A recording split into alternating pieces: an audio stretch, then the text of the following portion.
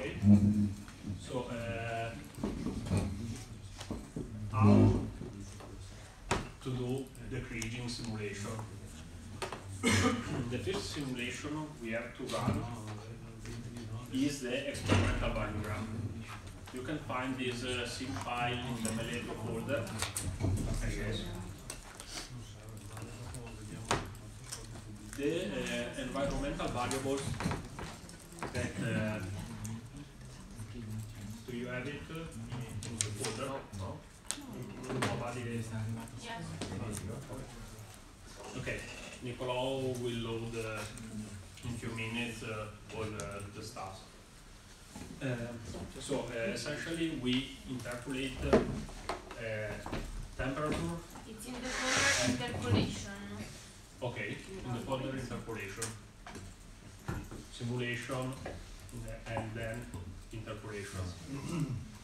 Okay. Uh, so in general, we interpret uh, two variables, air temperature and uh, precipitation.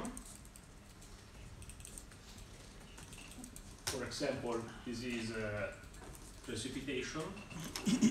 I add a tag here called variable that denotes that I'm working with uh, precipitation.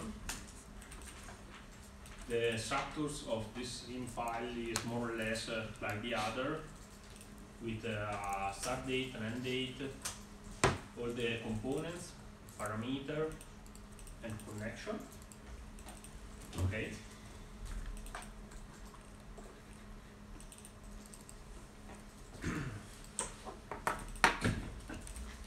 The input uh, data are the data of precipitation, but in this case we can use the mean value. For example, we can use the mean precipitation, the annual mean precipitation. and uh, in this case I compute the um, yeah. Okay.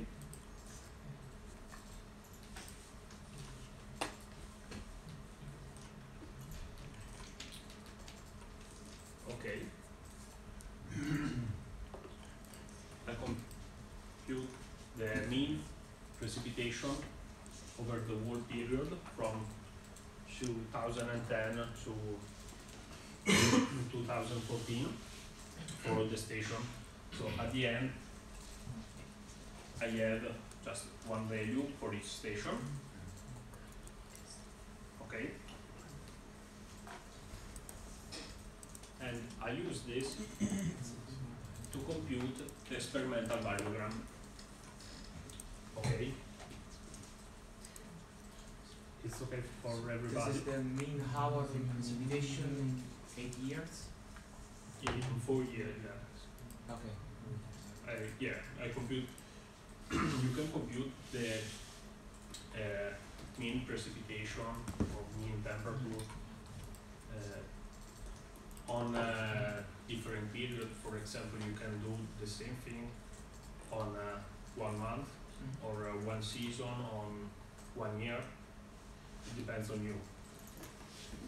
To make it simple, Yeah. I compute on uh, the whole period. Okay, the times that sixty in this case is uh, in English because uh, we have just one value. Here you have to specify the path and the name of the shape file and which is the name of the identifier in the shape file. Okay? And the number of bean you want to compute. and at the end you have uh, the path and the name of the file of distances and uh, experimental variogram. Okay? Uh, Is eight the number of uh, bins in which you separate the, the data, okay. Yeah. The one, the, the varia- variable you call cutoff divide, Yeah, yeah, yeah. okay. Okay.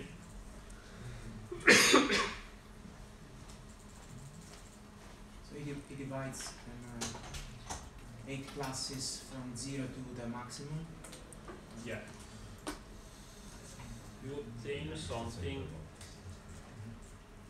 like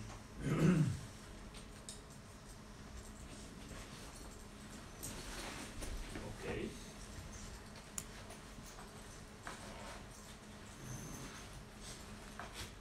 No, sorry.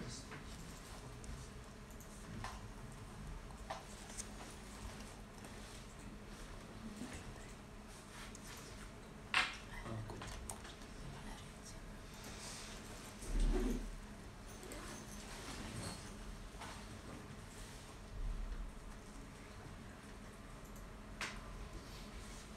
Okay.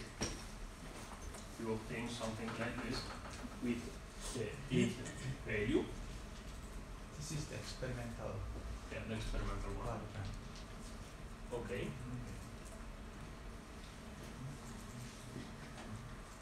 Then you can uh, compute the theoretical variogram. But uh, I think we can skip the simulation and compute directly uh, the particle swarm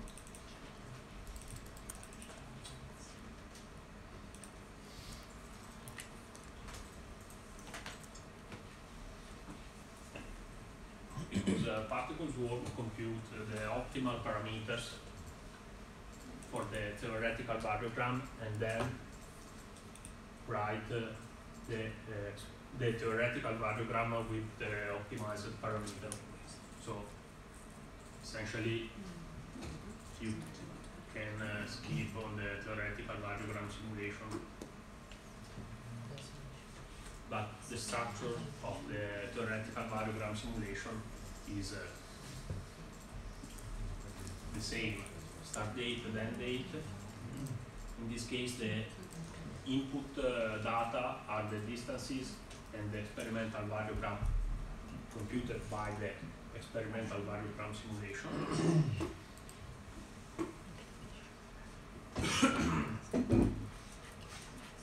Here you have uh, four different parameters, the name of the model and the range nugget sill values and then the output file.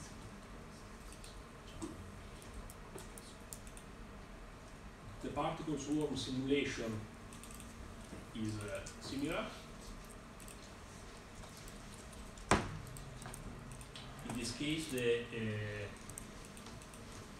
input data are uh, the distances provided by the, by the experimental variogram, the semivariance, and the parameter of the theoretical variogram.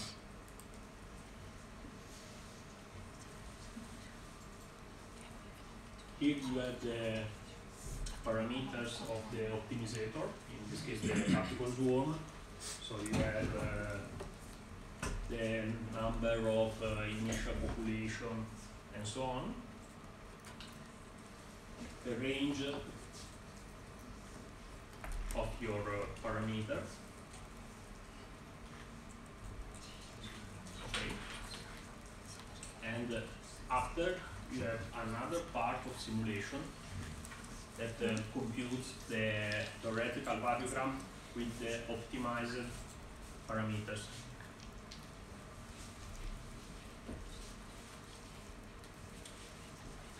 Okay? It's okay for everybody? Any doubt about this?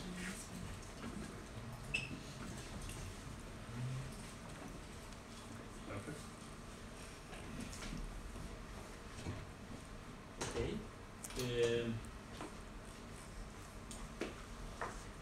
this simulation uh, print on uh, on the console on video the values of the optimal parameter.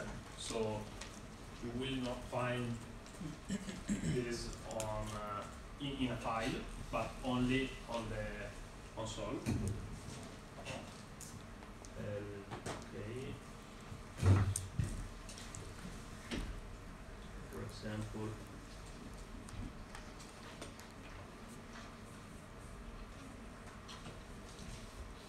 there's something like this. Okay, and at the end, you will find the optimal parameter for this uh, type of uh, theoretical variogram. Then you have to copy this value and paste in the kriging simulation where uh, in the kriging parameter you have to uh, add the optimal value okay?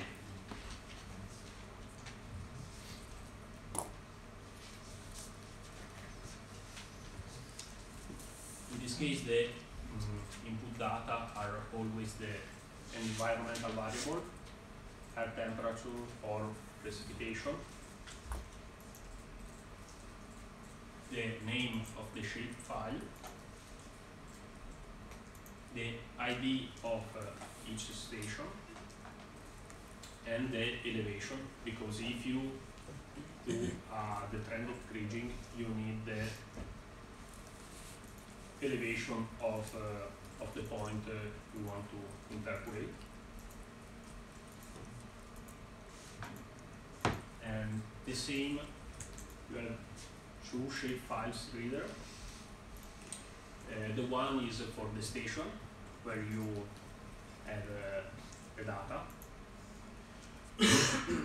And the other point is where you want to interpolate okay? And both have uh, the ID reader and the elevation reader.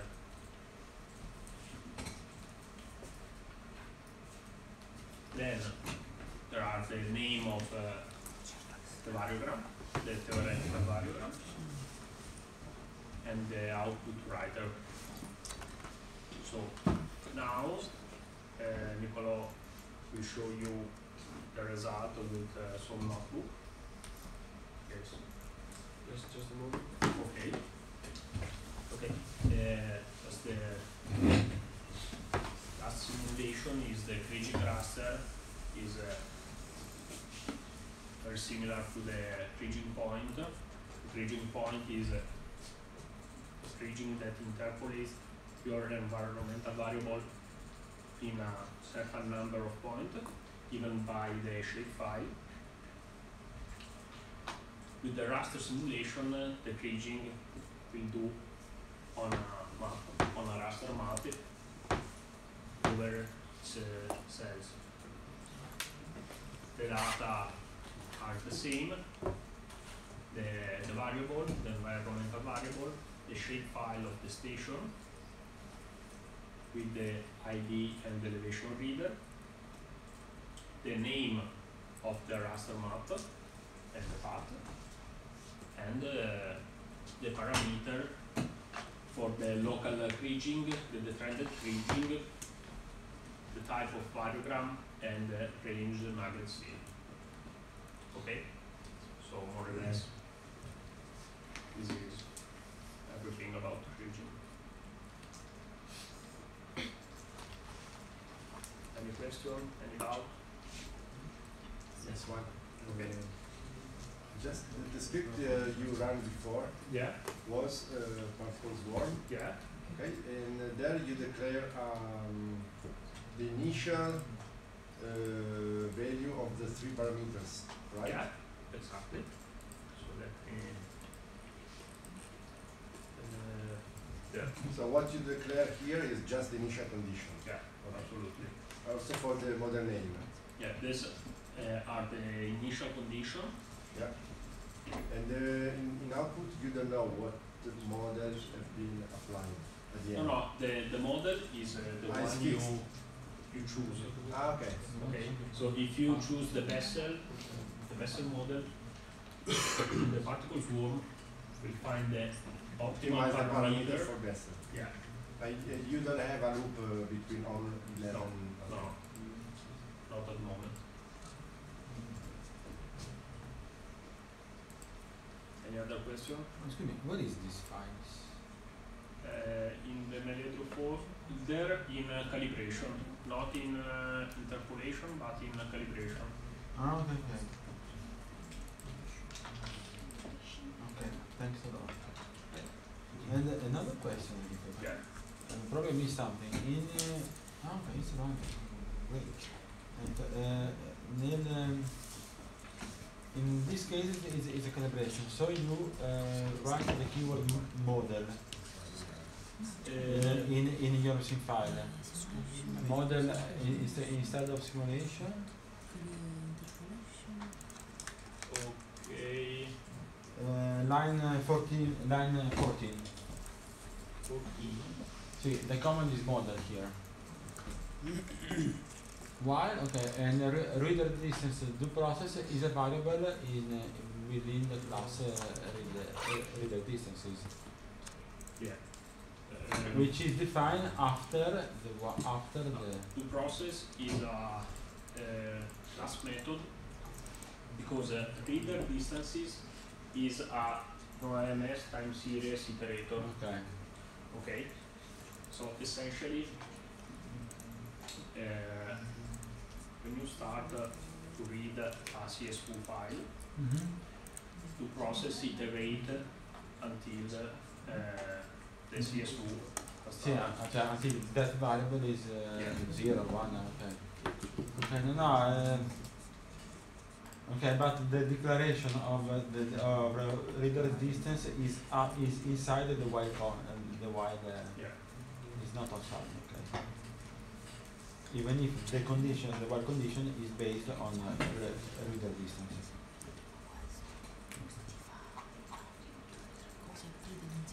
Th- thank you. Sorry. Do you have a script for uh, transforming a common CSV file in your uh, format? Like the Uh,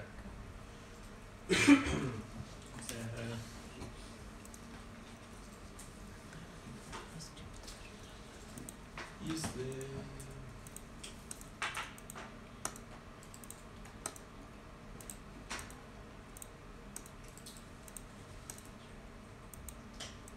is in the data formatter folder. yeah? Okay.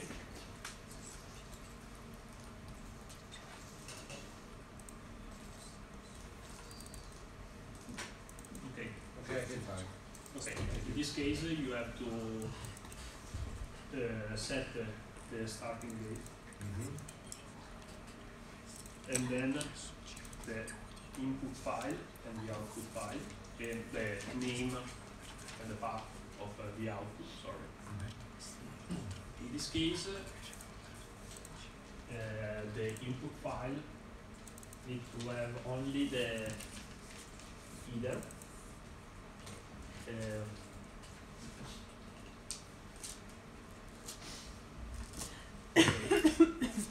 this one, only the the, the number essentially. Without the header. ID. Yeah, only the ID for each column and the value. Okay, and uh, the data formatter uh, insert the header in the CS view.